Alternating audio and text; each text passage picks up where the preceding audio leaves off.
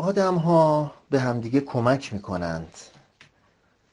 یکی از با ارزشترین کمک ها کمک فکریه. یعنی گاهی من اطلاعاتی دارم در اختیار بقیه می‌ذارم. بقیه اطلاعاتی دارن در اختیار من می‌ذارن.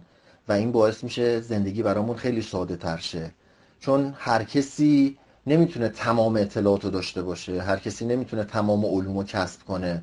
پس برخی که تجربه بیشتری دارن برخی که تو یک زمینه بیشتر کار کردند اطلاعاتشون رو با دیگران شیر می‌کنن و زندگی رو برای اونها راحت تر می‌کنند. ولی متاسفانه بعضیا خارج از اطلاعاتشون صحبت می‌کنند و این خیلی بده. یعنی تا اون زمانی که صحبتات منطقی باشه علمی باشه با سند باشه واقعا با ارزشه. هر کسی از شنیدنش لذت می‌بره و برای همه مسمر سمره ولی وای به اون وقت که بدون اطلاع حرف بزنی. وای به اون وقت که بدون تجربه نظر بدی و توی کار دیگران دخالت کنی. این خیلی بده. این نه تنها یک شخص و بلکه یک جامعه رو می‌تونه به قهقرا بکشه.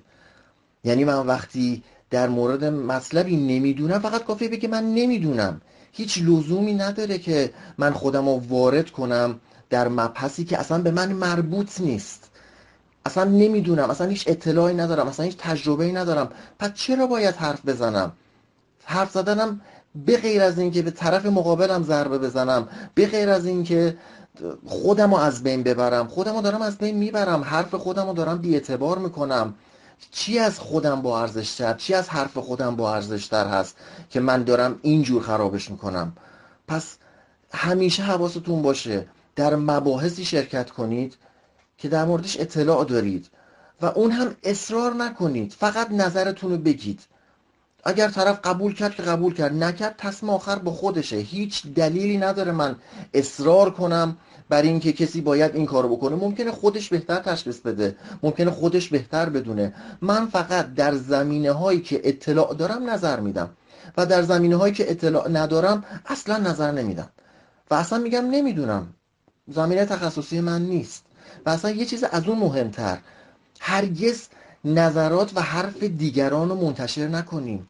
اگر یه کسی اومد یه حرفی زد یه نظری داد یه اطلاعی داد نیایم بریم اونو منتشر کنیم. مگر اینکه بهش مطمئن باشیم. مگر اینکه خودمونم تحقیق کرده باشیم خودمونم اطمینان پیدا کرده باشیم که این حرف حتما صحیحه. متاسفانه بسیار بسیار این موارد زیادند. به اینا میگن بیشتر شبه علم. یعنی چیزهایی که واقعی نیستن ولی تو جامعه ما داره میچرخه. خیلی از آدمای باسواد ما هم دارن این حرفا رو می‌زنند. یه حرفی رو یه جایی میشنوه بعد می‌بینه قشنگ میره بقیه جاها تعریف می‌کنه. و چه اتفاقی میفته چون حالا آدم معتبریه چون آدم باسوادیه همه فکر می‌کنن خب این حرفش هم درسته. و هممون همین کارو می‌کنیم. هممون چون یه نفر دیگه این حرفو زده میریم این حرفو پخش می‌کنیم. و کم کم می‌بینیم کل جامعه این حرفو می‌دونه و داره بهش عمل می‌کنه ولی متاسفانه این حرف درست نیست.